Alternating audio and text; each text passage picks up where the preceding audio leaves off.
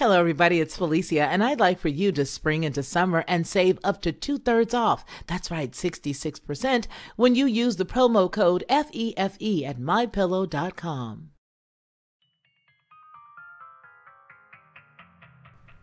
The world's largest and most powerful particle accelerator has restarted after a break of more than three years for maintenance, consolidation, and upgrade work. On April 22, 2022, at 1216 CEST, two beams of protons circulated in opposite directions around the Large Hadron Collider's 27 kilometer ring at their injection energy of 450 billion electron volts.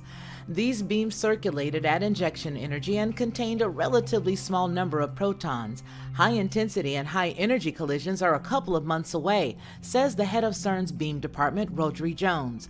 Jones continues, but first, beams represent the successful restart of the accelerator after all of the hard work of the long shutdown, closed quote. The machines and facilities underwent major upgrades during the second long shutdown of CERN's accelerator complex, says CERN's Director of Accelerators and Technology, Mike Lamont. Lamont continues with The LHC itself has undergone an extensive consolidation program and will now operate at an even higher energy, and thanks to major improvements in the injector complex, it will deliver significantly more data to the upgraded LHC experiments. Closed quote. Pilot beams circulated in the LHC for a brief period in October 2021.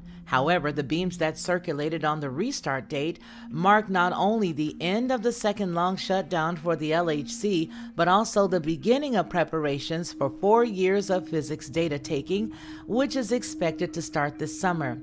Until then, LHC experts will work around the clock to progressively recommission the machine and safely ramp up the energy and intensity of the beams before delivering collisions to the experiments at a record energy of 13. 1.6 trillion electron volts. This third run of the LHC, called Run 3, will see the machine's experiments collecting data from collisions not only at a record energy, but also in unparalleled numbers.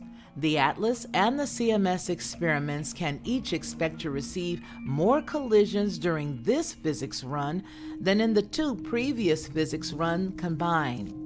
While LHCb, which underwent a complete revamp during the shutdown, can hope to see its collision count increase by a factor of three.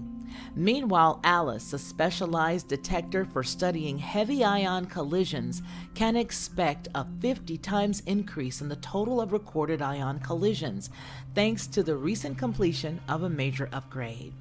The unprecedented number of collisions will allow international teams of physicists at CERN and across the world to study the Higgs boson in great detail and put the standard model of particle physics at its various extension to the most stringent tests yet. Other things to look forward to in the Run 3 include the operation of two new experiments, FASER and SND at LHC, designed to look for physics beyond the standard model. Special proton helium collisions to measure how often the antimatter counterparts of protons are produced in these collisions and collisions involving oxygen ions that will improve physicists' knowledge of cosmic ray physics and quark gluon plasma, a state of matter that existed shortly after the Big Bang. Today marks April 25th, 2022, and it also marks the date that the LHC pilot beams of protons were accelerated for the very first time to the record energy of 6.8 TeV per beam.